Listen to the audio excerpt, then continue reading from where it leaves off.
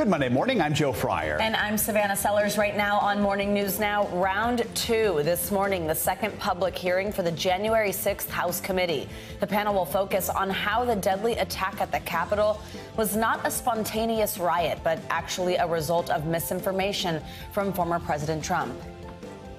This man had the microphone. He could speak to the whole country. His duty was to stand up and say something and try to stop this. The key witnesses who will testify this morning and the evidence that could come out during this week's hearings. Breakthrough, a bipartisan deal that could lead to the most significant changes to gun laws in decades. This comes after a weekend of protests across the country calling on Congress to act. We'll break down what's in this deal and what got left out priced out. The national average for gas now at $5 a gallon. Add that to the record inflation of just about everything else, and it's causing people to make major lifestyle changes. The steps families are taking just to stay afloat. And Zoomtown boom. Remote workers are changing where they take those video calls by moving out of big cities and into smaller rural areas. We'll take you to Montana in one of the fastest growing regions in the country to show you how people there are trying to adapt. Doesn't quite work for us, but it's cool. No. Well, we could set up a studio in Bozeman. you never true. know. Yeah, that's true. I guess we were for a while all yeah. from home, but yeah, it's nice that we're together. Exactly. Happy Monday to you all at home. Thanks for joining us. We begin with the latest on the investigation into the January 6th attack on the Capitol. Later this morning, the House committee investigating the attack will hold its second public hearing. Three hearings are taking place this week. According to committee chair Bennie Thompson, today's will focus on former President Donald Trump's so-called big lie. Among the panel of witnesses will be Trump's former campaign manager, Bill Stepien, who was forced to testify by subpoena last November. The committee said Stepien supervised the conversion of the 2020 campaign operation into a disinformation campaign to overturn the election. For more, let's bring in NBC News Capitol Hill correspondent Ali Rafa. Ali, good morning to you. So that first hearing in prime time last week saw some explosive testimony. Can we expect more of that this morning? And also, when it comes to Stepien, in addition to him, who else are we going to hear from? Yeah, Joe, the committee is promising another day of revelations with never before seen video, as well as that witness testimony from, as you mentioned, Bill Stepien, but also former Fox News political editor Chris Stirewalt. He was at the center of really a fallout after the election uh, by the network's top brass, the former president himself, Trump supporters, after he defended the network's decision uh, to be the first network to call the state of Arizona for then candidate Biden. That was really the first sign uh, that Trump was going to lose his reelection bid. Uh, so there's a lot of information that Chris Stirewalt could offer as to the role of the media in in the period between the election and January 6th, Joe. So, Ali, as we mentioned, this morning's hearing is expected to focus on what's known as the big lie, with the panel saying that the deadly attack on the Capitol was not a spontaneous riot, but rather the direct result of the former president's bad faith information campaign. How is the committee going to try and make that argument today through those who are testifying? So the committee held sort of a background call with reporters yesterday, and they said that it'll dig deeper into how Trump, quote, declared victory on an election that he lost, spread claims of fraud, and then decided to ignore the rulings of the courts when the judgment of the courts didn't go his way. For Bill Stepien, for instance, this is someone who had unfettered access to the president, uh, who was extremely familiar, obviously, with his thinking, spending so much time with him. Uh, and he would be able to testify as to really what Trump knew and when he knew it. Uh, maybe he was one of the people within uh, former President Trump's inner circle who was one of the people who told him that he lost the election, or perhaps he believed uh, the big lie, like the former president. Uh, he could be a wealth of knowledge about former President Trump's thinking, possibly on January 6th as well, and the weeks after. Um, for Chris Stirewalt specifically, uh, they want to know really how much he knew and, and, and really what the media's role in in spreading this was. Uh, I believe we have uh, a quote for you here. Um, the committee told reporters that in this hearing for Chris Stirewalt, it'll talk about the political fundraising that was done between the election and January 6th Chris Stirewalt will be the one that could uh, shed some light on that, Joe. All right, Ali. And the committee is, is making its presentation not only to the American people, but really also to the Department of Justice, which ultimately has the power to decide whether to indict the former president. What's the committee saying about its findings there?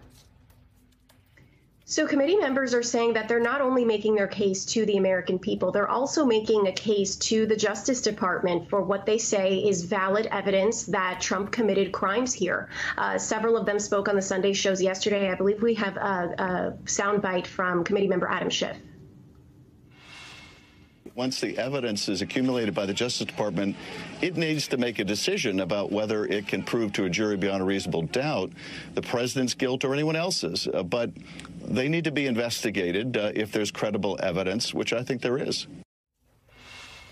The big question now is attorney is is whether Attorney General Merrick Garland is listening, and how soon after these hearings will he be, be willing to act on all this? All right, Ali Rafah, thanks so much for kicking us off this hour. We appreciate it. All right, so let's stay on that topic right there. And as we get started with this another day of testimony into the attack, there's a new renewed debate as to whether the January 6th committee has compiled enough evidence for the Department of Justice to pursue a criminal indictment against the former president. Joining us now for more on that point is NBC News legal analyst Danny Cevallos.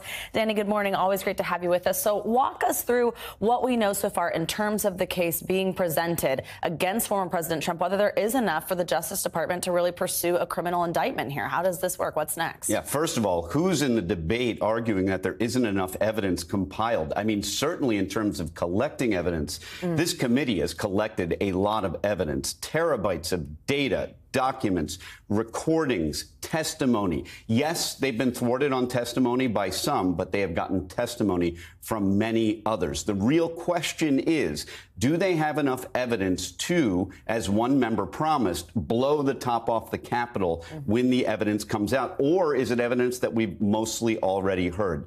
So, what people are going to be looking for in terms of what they produce in terms of evidence is whether or not Trump was made aware, and that's magic language, because beyond being aware that he had lost the election, did he understand it? Did he get it? Did he believe it? it it's a balancing test. Do you believe all the reliable people who told you you, lo- you lost, or do you have a right to believe someone like a Giuliani who comes in and says, no, no, no, you won, keep fighting? And that's really what this is going to come down to. Yes, mm. this is an audience of the American people, but it's also an audience of one. And that one is Merrick Garland. Mm-hmm. And he has a difficult decision in the coming weeks and months after these, this presentation. Lots of that he is going to have to balance and consider. Let's take a listen to, to something else that Congressman Adam Schiff, who's on the committee, said about the potential for criminal charges. I would like to see the Justice Department investigate any credible allegation of criminal activity on the part of Donald Trump or anyone else. Uh, the rule of law needs to apply equally to everyone. Uh, and there are uh, certain uh, actions, parts of these different lines of effort to overturn the election that uh, I don't see evidence the Justice Department is investigating. So, if the committee did recommend a criminal indictment against Trump, then what are the next steps? What happens? The short answer to that is whatever the DOJ wants to do, because the committee can recommend all it likes, but ultimately that is the DOJ's independent decision. It is Merrick Garland's independent decision. And it's a tough one because it's very easy for a committee to announce that, hey, there's enough for a criminal invest or excuse me, a criminal prosecution. But it's an entirely different thing for Merrick Garland or a U.S. attorney to stake their reputation, their careers on a prosecution of a former president. So ultimately, this is Merrick Garland's independent decision at the DOJ, which is the way our system is designed, that mm. the DOJ is supposed to act independently. All right, Danny Cevallos. what would we do without you? Thanks for being here this morning, as always. And you can watch this second hearing later this morning right here on NBC News Now. Our live coverage gets underway at 9:30 a.m. Eastern. Now, in addition to that second January 6th hearing today, there's another major headline on Capitol Hill this morning an agreement to legislation to combat gun violence in this country, including enhanced background checks on gun buyers. Democrat Chris Murphy of Connecticut and Republican John, Cornyn of Texas were the chief negotiators in pulling together this breakthrough deal. We should note it's just a framework. A final bill has not yet been written. Let's bring in NBC News correspondent Josh Lederman, who joins us from Washington. Josh, good morning to you. So, talk to us about this gun reform deal that was announced yesterday. We know it's been in the works for a few weeks following the elementary school tragedy in Texas. What's in it? What's not in it? And what's the reaction? Well, what's not in it is an assault weapons ban or even raising the minimum age to buy uh, an assault weapon. Those are uh, among the more far reaching proposals that Democrats would like to see had included, uh, of course, in that House passed bill uh, last week. But uh, Democrats making sure that they do not let the, enemy, the perfect be the enemy of the good when it comes to this legislation. The centerpiece uh, of this bill, now in the process of being drafted, is these new background checks for people who are 18 to 21, which is really the target group uh, that these lawmakers wanted to focus on given their role in so many uh, of these mass shootings. Senator Chris Murphy, the leading Democrat negotiator, uh, describing it as a pause. And essentially, uh, what this will do is create an opportunity before a young person can get their hands on a weapon uh, for additional checks that now will include calls to the local police department, to other local authorities to see, hey, is anyone reported anything strange with this individual.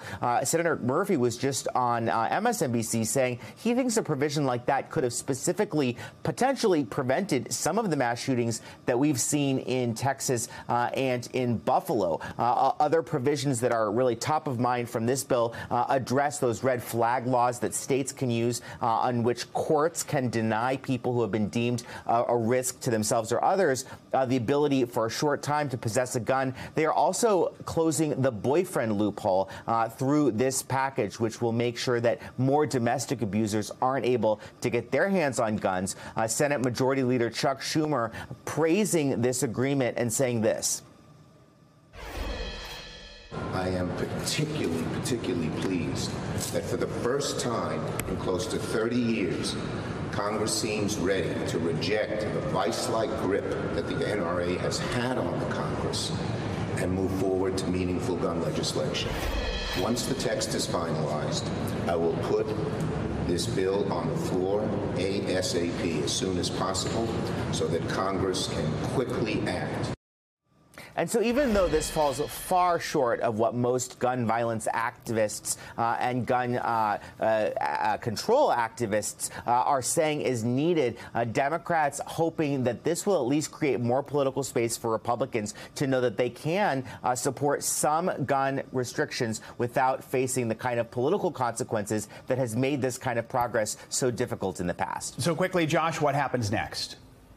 Well, according to the Democrats who have been negotiating this, they want to uh, put the bill into a written form this week, and they hope for a Senate vote uh, within the next two weeks with the goal of getting this bill passed through Congress and on President Biden's desk to sign by the end of July or at the very latest, the beginning of August before lawmakers go home for their August recess, Joe. Josh Lederman in Washington. Thank you, Josh. Now, before that deal was announced, demonstrators took to the streets in hundreds of cities on Saturday, pushing for more serious gun control reform. It comes from people in Uvalde, Texas. It comes as people in Uvalde, Texas, try to pick up the pieces nearly three weeks after the deadly shooting at Robb Elementary School. NBC News correspondent Antonia Hilton joins us now from Uvalde. Hey, Antonia, thanks for being with us this morning. So, what's the reaction been like there at this point to the news of this possible gun deal? Good morning, Savannah. Yesterday, as I was right here on the memorial grounds in Town Square, people were learning about this bipartisan deal. And it was met with unanimous praise. People were overwhelmingly happy to hear about this. But at the same time, you know, there was a bit of hesitation from folks. And I think that that cynicism, that hesitation, stems from the level of hurt and anger here. People are still reeling over the death of 19 children and two beloved teachers here. And, you know, the reality is no matter what these lawmakers do, nothing's going to bring those 19 babies back. It's not going to make these families whole again. And so for some folks here, you know, they didn't want to pat lawmakers too much on the back. They didn't want to give them too much credit. Take a listen to some of the conversations that I had right here at the memorial site yesterday. Are you encouraged that lawmakers are actually trying to do something? I am, but who knows? You know, they can always say all these things, but if it really passes, you know, that's a different, you know. But I'm glad that, you know, if they'll come together into a consensus to do something, then that's, yeah. We'd love to see it. well, I think they should pass it and uh, do the, I mean, strict laws. Because the, the, the person that's going to follow the rules is going to get the gun. They're going to get whatever they like and, and they're going to follow the rules. I spoke to people who were military, who were gun owners, and there seemed to be a unanimous agreement that better background checks were necessary, that an 18 year old, like the gunman here, shouldn't be able to get their hands on something like an AR 15. And so, you know, again, there's a recognition that this is a deal. It's not a bill yet, even. And so people were a bit hesitant to celebrate too much, uh, but they're happy to hear something's finally going to be done. But at the same time, they feel like this could have been done, this could have happened after any other number of tragedies here in the United States.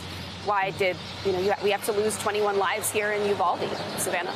Absolutely. Antonio, now there have actually been 254 mass shootings this year alone. That's according to the Gun Violence Prevention, uh, Gun Violence Archive. We focus on all the lives lost, of course, but there are so many more lives that are changed forever. What are people there in Uvalde saying about the effect the shooting has had on them? People are reeling. I was here as a young child, was being, you know, laid to rest just mm. about a block and a half away from where I am right now this weekend. And I, at the same time, was interviewing an eight year old here who was bursting into tears, saying that, you know, she is afraid. She is, you know, of course, mourning these kids. She lives close by to Uvalde. She doesn't go to Robb Elementary or the school system here but it was affecting her. And I thought that, that uh, my conversation with that eight year old really reflected how this is affecting kids all over Texas, kids all over the United States.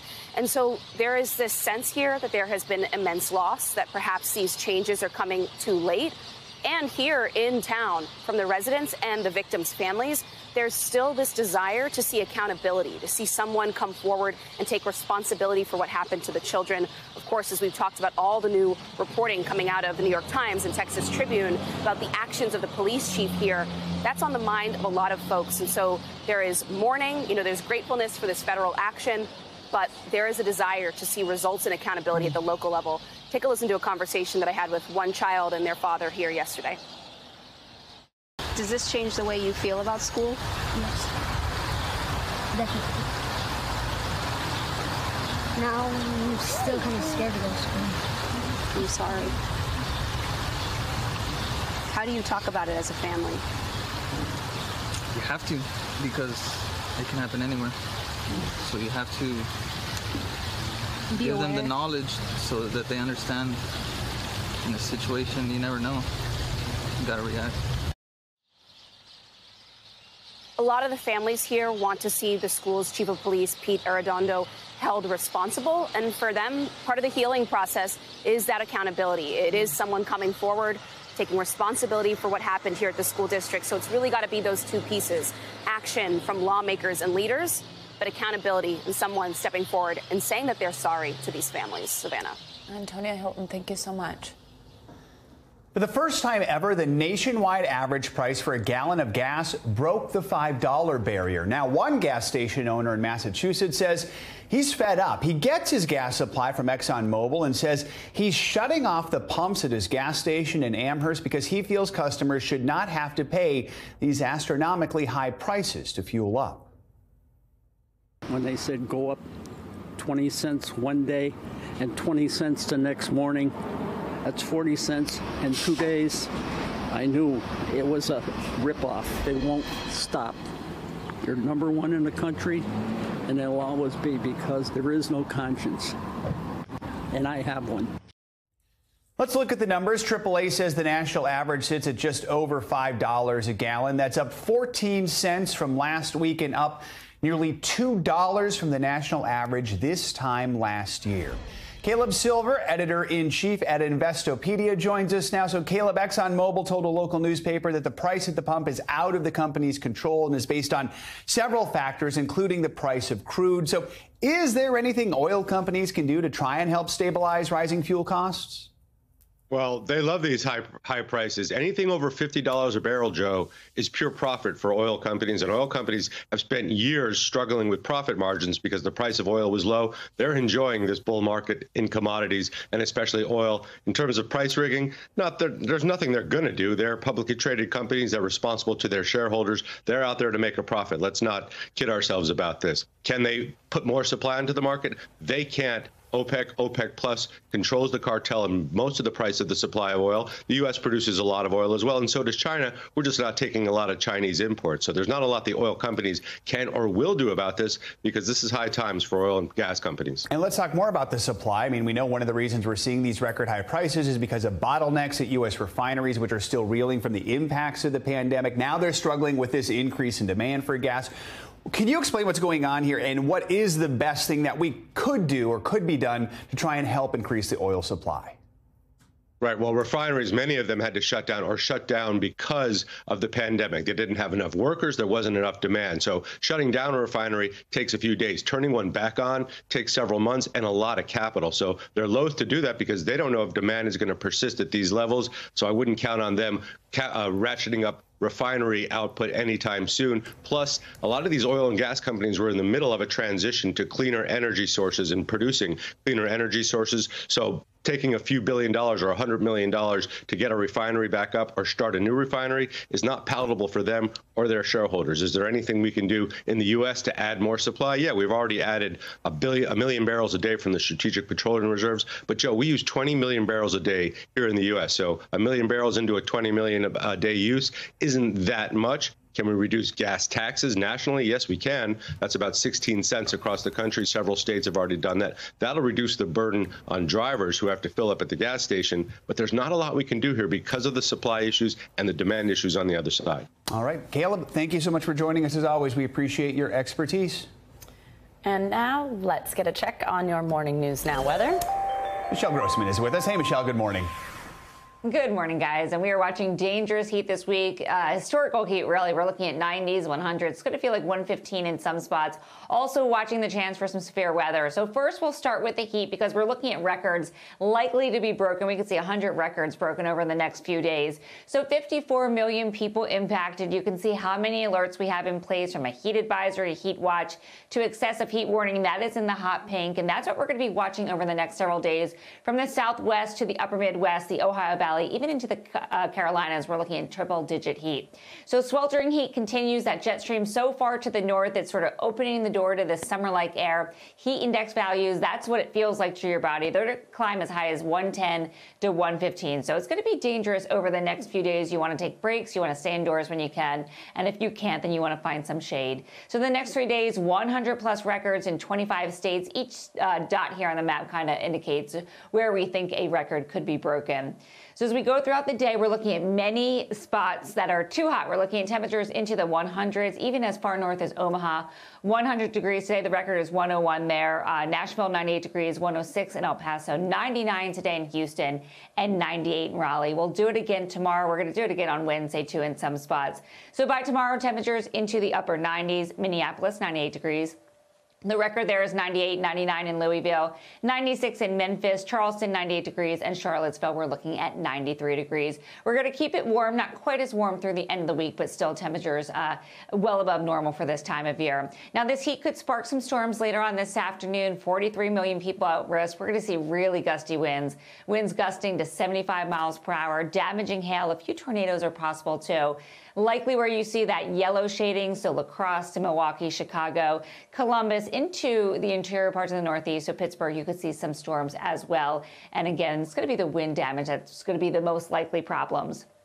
Then tomorrow we're looking at that threat moving into the Carolinas, 8 million at risk, with winds gusting to 60 miles per hour, damaging hail again, and also a isolated chance for a tornado, especially uh, along the Carolinas, Norfolk, Raleigh into Wilmington. We could see some of that severe weather tomorrow.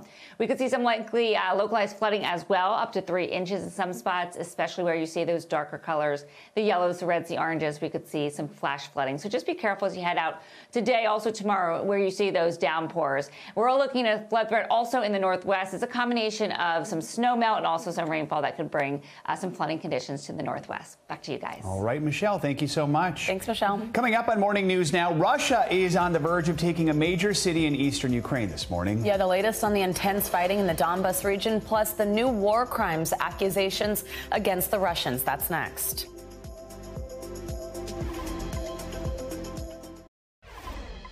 Welcome back. Now let's get to the war in Ukraine. Russian forces now control 70% of the embattled eastern Ukrainian city of Severodonetsk, according to the governor of Luhansk.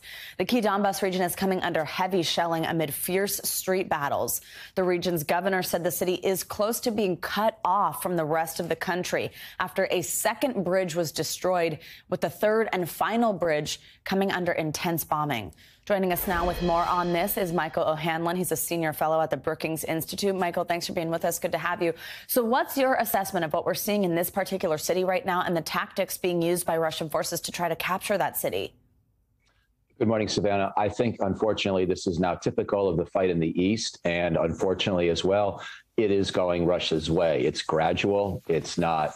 Uh, necessarily going to lead to huge territorial changes anytime soon, if ever but it sort of almost evokes World War One. You know, it's primarily artillery based, as you point out. They're demolishing cities. They're going after entire neighborhoods. Very little precision in these attacks. Very little maneuver warfare. Uh. Just really a hard fight and a very bloody one. With, uh, as I'm sure you've seen, estimates of 100 or more soldiers dying each day on each side, and uh, no end in sight. Yeah. Michael, I want to ask you about this new report from Amnesty International accusing Russia of committing war crimes in Kharkiv. The rights group says hundreds of civilians there have been killed by, quote, indiscriminate Russian shelling using widely banned cluster munitions and inherently inaccurate rockets. What do you make of those findings? And is it likely that we'll see any meaningful accountability for those actions here? I mean, especially when it kind of just is stacked on top of a lot of other war crimes in many other cities across this country. Right. I think on your second question, the answer is no. I can't see any realistic way to prosecute these war crimes, although it's still important to document them. On the first question, this is essentially the, the set of Russian tactics that we're observing. I mean, they're doing this on purpose. This is not units, you know, sometimes going beyond their orders or, uh, you know, uh, out of control unit leaders who are somehow seeking retaliation, although I'm sure there's some of that too. But this is the way Russia is fighting the war. They are bombarding entire neighborhoods to demolish buildings and kill people within because they think that that's the site from which 10 people are shooting at them. So they demolish mm. a building that has 100 people inside of it rather than try to fight person by person. This is almost an inevitable consequence of the fact that this war is happening at all. So while it's tragic what's happening tactically, the, the, tactics follow from Putin's decision to invade and try to conquer this country with a military that can't really do effective maneuver warfare and is left with only these choices. So the tragedy is really baked into the operation. Right, it's a broader thing. That's a good point. I want to ask you now about another report. This is out by a leading think tank, Stop, Stockholm International Peace Research Institute. It expects global nuclear arsenals to grow in the coming years for the first time since the Cold War. And it says, quote, the risk of nuclear weapons being used seems higher now than at any time since the height of the Cold War. What do you make of that assessment? It's possible they're right, although uh, I think that chances are still substantially lower than they were, let's say, in the Cuban Missile Crisis or the Berlin Crisis.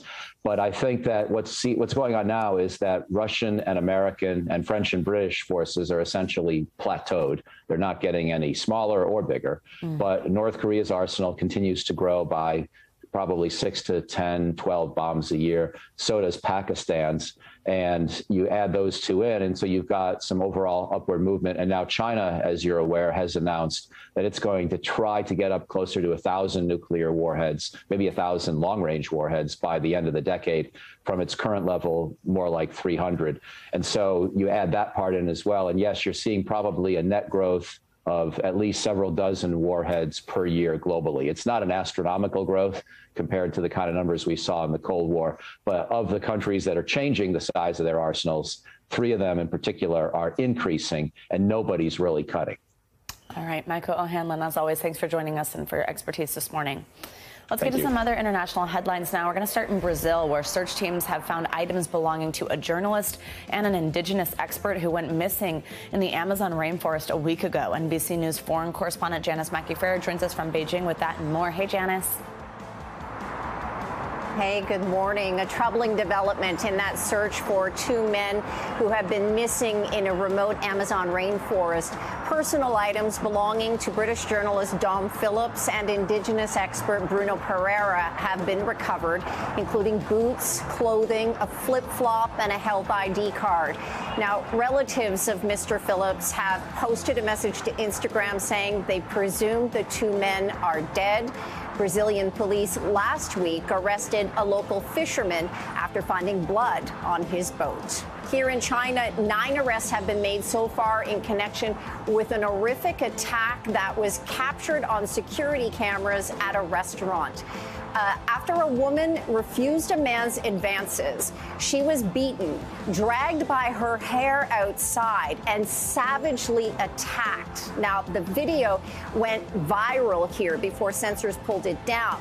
It has also ignited a debate uh, about what many social media users call, quote, an epidemic of violence against women in China.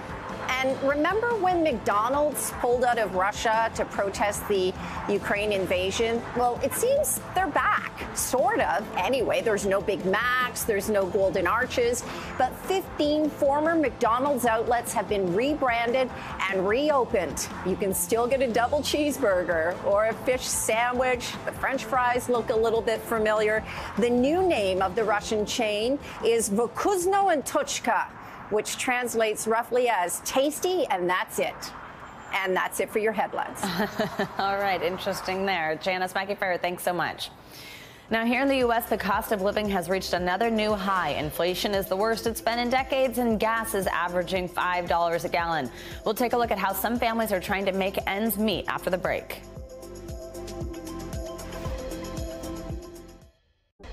Welcome back. Record high inflation and rising gas prices have many Americans struggling to make ends meet. NBC News senior national correspondent Kate Snow shows us how families are being forced to cut costs just to stay afloat. What's your day look like? Across the country, Americans are waking up to a new reality. When I wake up in the morning, I start worrying about bills that need to be paid. I start worrying about how I'm going to, you know, provide for my family. I worry more about what my kids are feeling more than anything. In the town of Lumberton in southeast Texas, be with everyone in, in the country that is in need. Rising prices have forced Bridget and Johnny Lovell to drastically change their way of life. As a mom, I feel stressed about everything. They've had to cut back on the activities they enroll their three kids in. We find more activities to do that are cheaper, free. And they've stopped eating out. The other day, my kids were talking about how they miss eating Pizza Hut because that was, for us, it's a luxury item. Good job. Instead, Bridget keeps to a tight grocery budget.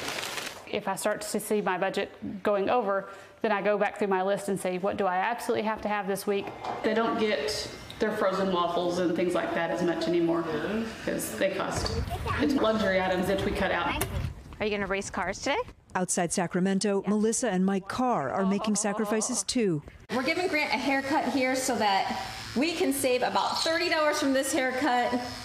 My husband gets does his own hair, and we cut our 22 year old son hair as well. And then I was able to just find somebody to cut my hair for about $25, which is amazing for a woman's haircut.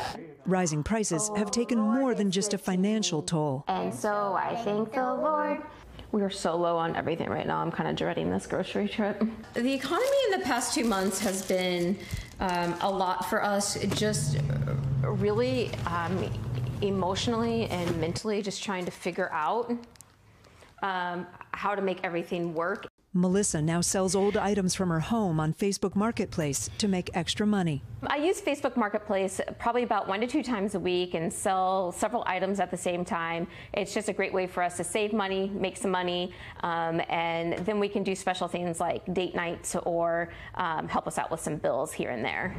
Outside Detroit, Breeze Brown had to take on a second job delivering groceries to keep up with rising prices. Okay, so we're out pretty early doing a couple orders to make some extra money. She's also scaling back her two year old son's activities. My son has noticed um, that we had to make changes in the activities that we usually do. Um, you know, he's usually into swim, um, martial arts. I've had to cut costs just to put the necessities first. The hardest part of all of this is just having to, you know, keep going. No matter what, of course, I have to keep going. But between inflation and me, inflation's winning. That sense of defeat perhaps felt most when filling up for gas. My feeling when pulling up to the gas station is anxiety, stress. It makes me very anxious and very stressed out. Just how much it keeps going up, especially in the last week. We've gone up uh, 50 cents just in the last week a gallon.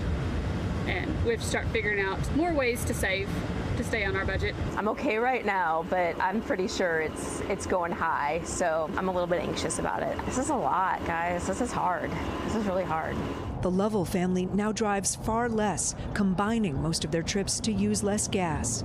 Most weeks we only leave twice a week. Breeze even switched her son's daycare to save on gas. It was just, you know, a little bit cheaper and way closer. Families making major changes to get through uncertain times. My biggest fear right now is to keep a roof over our head, gas in our car, and food on our table. My biggest fear is that things aren't going to get better, that it's just going to keep getting worse. I also hope that no matter what, that my family and people around us, that we can see true hope and value in the life that we do have, no matter what is going on. Our thanks to Kate Snow for that report. Now, inflation and higher gas prices are also affecting consumer sentiment, which is now at its worst level on record dating back to the 1970s. That's because inflation is eating into every family budget, and at the moment, virtually everything Americans are buying costs more. Now, it's not just the cost of living causing people to make major lifestyle changes, it's also how they work. We'll take you to one of the fastest growing regions in the country as remote workers now choose to move to remote places. You're watching Morning News Now.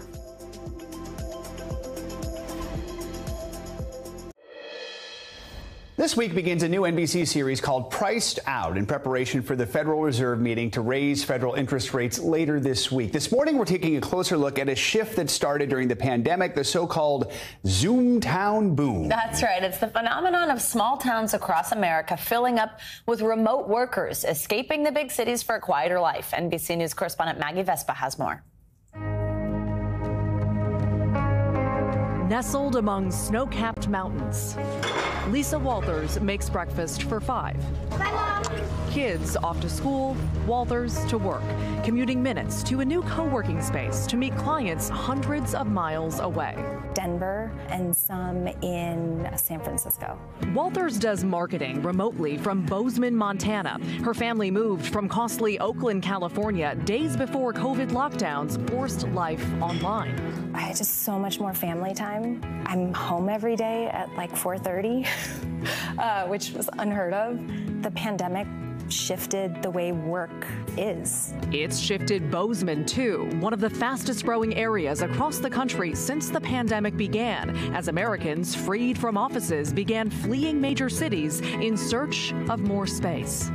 We provide a private office and all the essentials they need. Bozeman's surge in remote work inspired Jason O'Neill to open this shared workspace. So if folks are arriving into Montana to build their own dreams, you know, really trying to become Montanans, what I think we need to be doing then at that point is saying, you know, welcome home, let's build together. We wanted to get away from the traffic mm-hmm. and the people. When the pandemic hit, all the work that I do went virtual. Therapist Bella Bukowski decamped from Seattle with her family as Bozeman's Zoomtown boom was gaining steam. I just think, oh my gosh, what an amazing place to bring up a kid. One reason the backdrop. I mean, I think it's pretty clear the appeal this place has when you see a view like this. This is like 15, 20 miles outside of Bozeman. Also outside of Bozeman, the unprecedented pace of urban sprawl. Is the old way of life in Bozeman going away? Yeah, it is. It is. Yes, it is going away. Lifelong cattle rancher Mark Heiser isn't upset with newcomers, just the changes they bring.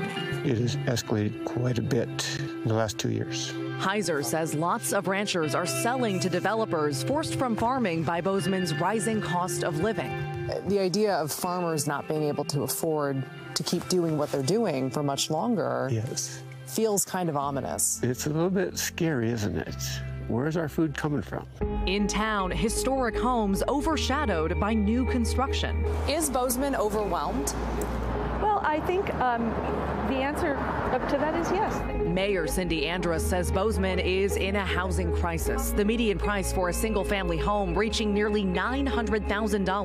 Childcare and other costs are skyrocketing. There's a lot of money coming in with this growth. And that's that can be a good thing if that wealth is distributed equitably. But at this point, we're not really seeing that. Is this turning into a situation where people who work in Bozeman can't afford to live in Bozeman? That is a challenge for sure. Yes. Then there are cultural tensions. Bose Angeles. Have you heard that nickname? Sure, I've heard all that stuff. That's silly. Will you ever call it Bose Angeles? No, I can't. It hurts my soul. the route, perhaps, a common complaint. Traffic is doubled out here. Traffic to me is when you can't get through a stoplight in one light change. You might not get through a light immediately. but for me, I'm like, this is not traffic. I'm not stressed. Bozeman's boom isn't slowing down. Montana native turned real estate broker Charlotte Durham sees it every day. Do you feel the intensity picking up in the housing market here? Yes. I mean, Bozeman was growing so much before the COVID pandemic, but it turned up about 10 notches. There's just not near enough inventory, unfortunately, to keep up with the amount of demand that we're seeing, which is driving prices up dramatically. Her clients, Nick and Kate Cerna, came from Cleveland in November. To them, this city still feels small. Do you think that small feeling's going to last? I do. Sure, the landscape's going to change, but the small town is going to be a small town forever. I believe that. Believe it or not, the boom echoes on. Maggie Vespa, NBC News, Bozeman, Montana. Financial headlines now, and the market's trying to recover from one of the worst weeks of the year. Yes, CNBC's senior markets correspondent Dominic Chu joins us now with more on that. Hey, Dom, good morning. Hey, good morning, Savannah. Good morning, Joe. Well, as Joe points out, uh, Joe points out, Wall Street could feel a lot more pressure today following Friday's hotter than expected data on consumer prices. The markets are coming off, by the way, their worst week since January. In focus this week for investors, we have reports on producer prices and that inflation level, also retail sales, jobless claims, and manufacturing as well. But the big event, the main event, if you will, is the Federal Reserve meeting, which begins tomorrow.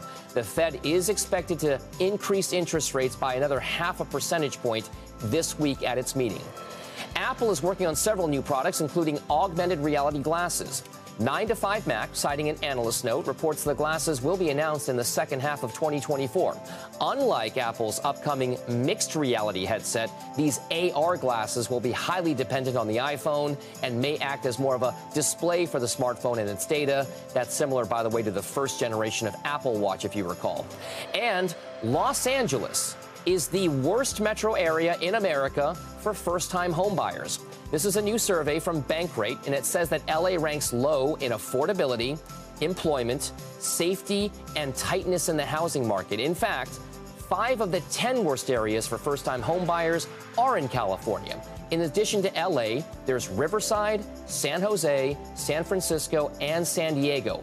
And by the way, if you are interested in the best area in the country, it's Pittsburgh, Pennsylvania, hmm. followed by Minneapolis, Cincinnati, Kansas City, and Buffalo, New York, guys. So those are the cities. I mean, it's tough in the real estate market right now, but mm. even way more so if you live out in California. All right, good to know. Dom, thank you so much. Thank you. And coming up, Justin Bieber cancels shows after he reveals part of his face is paralyzed. We're going to have more on the condition he was diagnosed with and how it's treated next.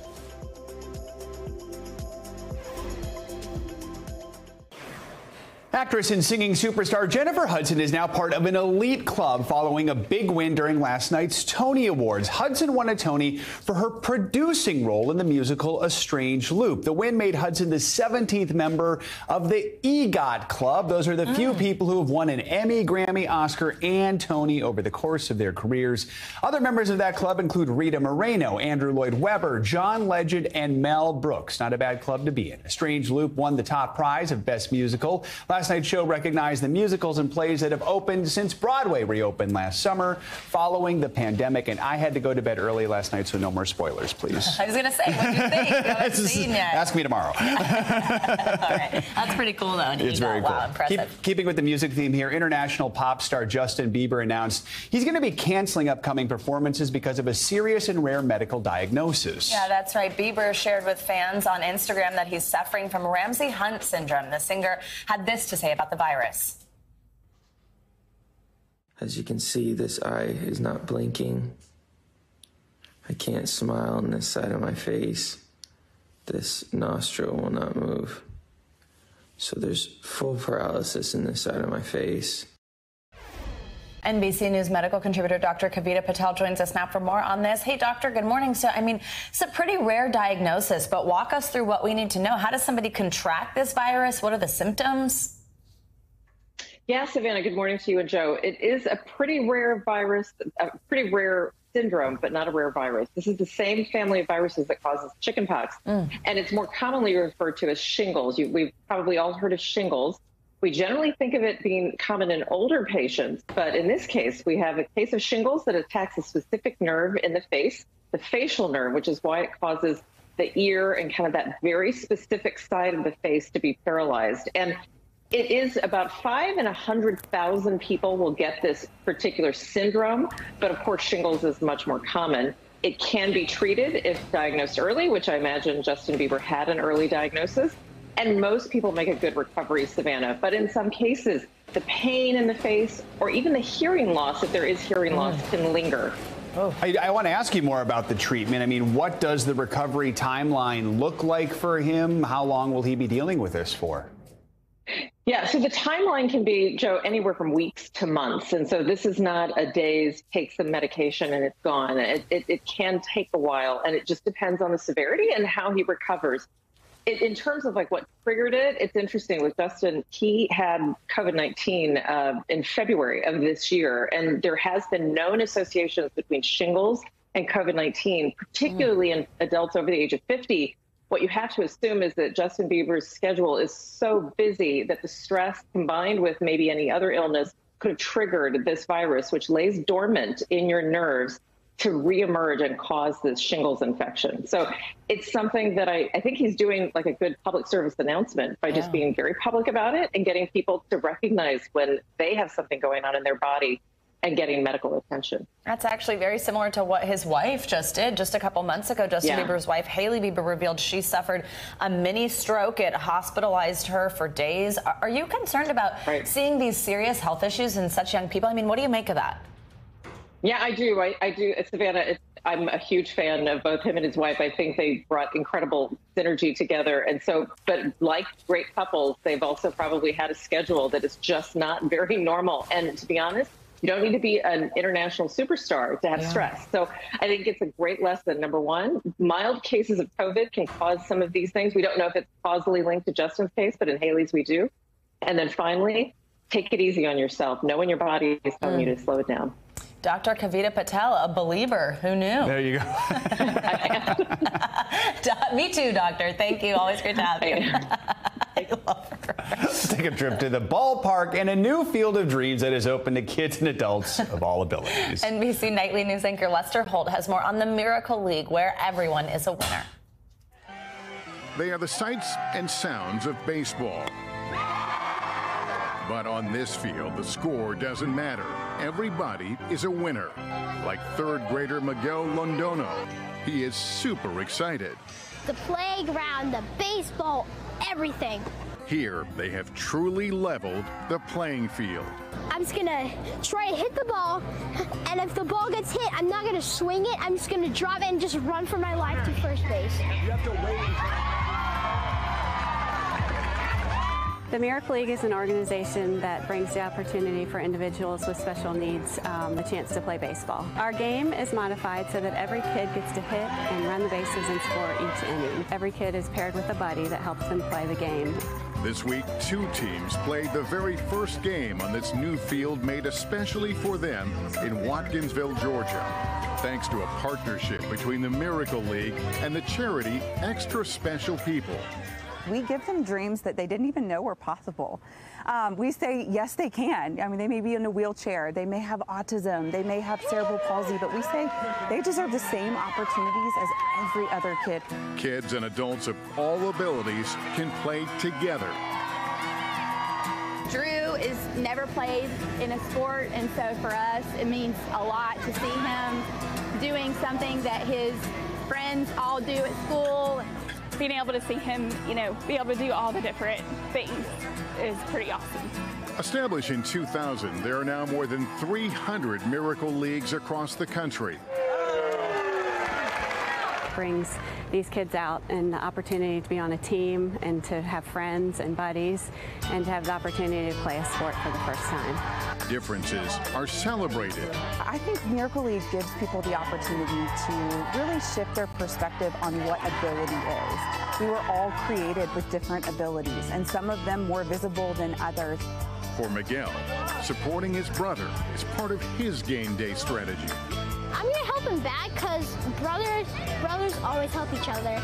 To see them like be themselves and playing like they should. It really is changing lives one community at a time.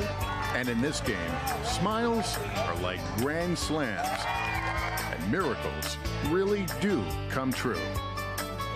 We knew when we first came around the bend and everyone was cheering for our daughter that she was right where she needed to be. Good job, Slugger.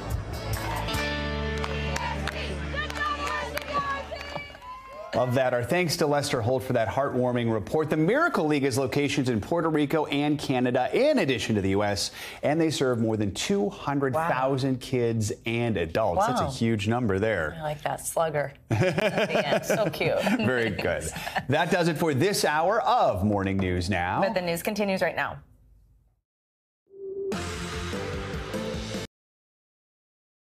Thanks for watching our YouTube channel. Follow today's top stories and breaking news by downloading the NBC News app.